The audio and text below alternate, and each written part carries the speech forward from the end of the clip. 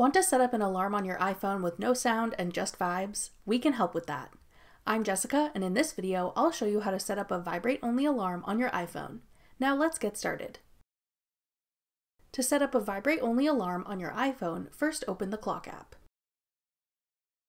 Then tap the plus sign in the top right corner to create a new alarm.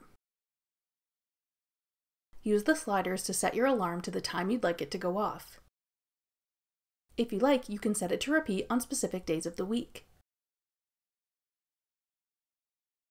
You can also add a custom label with a name for your alarm. If you want to allow yourself to hit snooze, leave this option enabled. If not, tap the switch to turn off the snooze option. Now tap sound.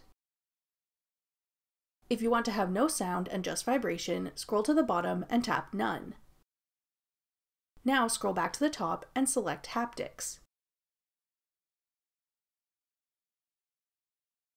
You can now choose a vibration pattern you'd like to use for this alarm.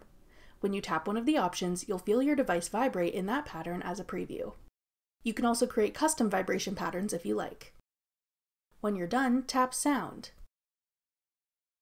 Then tap Back. When you're finished setting up your alarm settings, tap Save. Your new Vibrate Only alarm is now set up and ready to use. That's all it takes to set up a Vibrate Only alarm on iPhone. For more helpful iPhone tips and tricks, check out our full playlist of iPhone tutorials. We'll have it linked in the description box below. Thanks for watching. If you found this video helpful, we'd love it if you'd hit the thumbs up button below and subscribe to our channel. We put out great new tech tutorials like this one every week.